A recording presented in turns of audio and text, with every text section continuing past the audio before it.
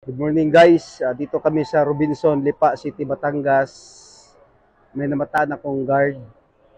Yung sapatos niya, iba. Iba talaga. Itim lang siya pero hindi talaga siya pang guard. Hindi siya with look.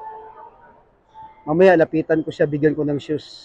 Good morning, ma'am, sir. Dito tayo sa Robinson, Lipa City, Batangas.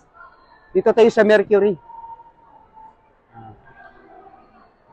Nakita ko si Kuya Guard, yung shoes niya, notorize, oh. Kita mo. Bigyan natin ng shoes. Mm. Kuya Guard. Pakita mo rin sila yung... Bigyan natin ng shoes kasi yung shoes niya, oh, hindi ito, hindi dito, ano.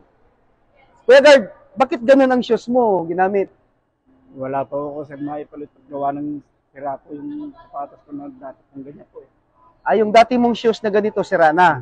Yan lang muna ang ginagamit mo. Ah, hindi ko makabili sa ng tapos na kapos po. Hindi ka pa makabili? Hmm, sige. Bigyan natin ng shoes. Halika.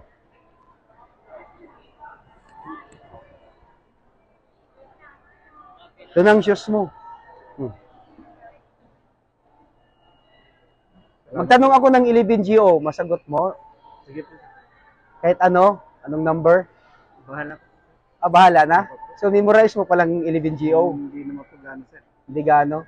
Ah, Sige, anong alam mo sa 11 general orders? Number one po sir. Huwag Number one. Huwag pong iiwanan ng posting na wala pong kapalit na maayos na guys. Uh, ano pa?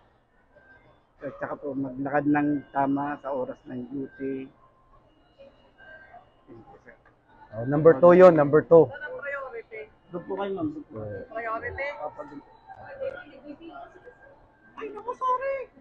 Sige. O, sa'yo na yung shoes. Anong agency mo? Ito po. Ano to? Super R po. Ah, security agency, Super R. Na-focus mo na yung shoes niya? Ah, okay.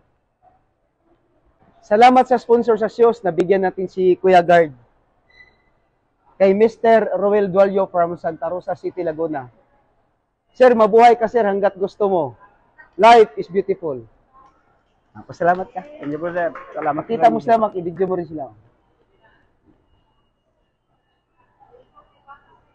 Okay. Thank you. Sa mga audience natin dito sa Robinson, Lipa City, Batangas. Ah, Mabuhay ka hanggat gusto mo. Life is beautiful. ah okay. Thank you, thank you, thank you, thank you.